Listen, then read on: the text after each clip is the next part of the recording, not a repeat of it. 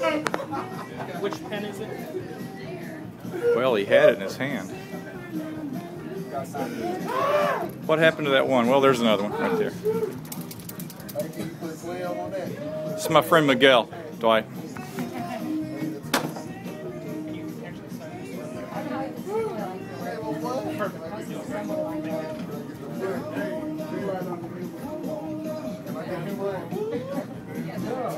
Are you here?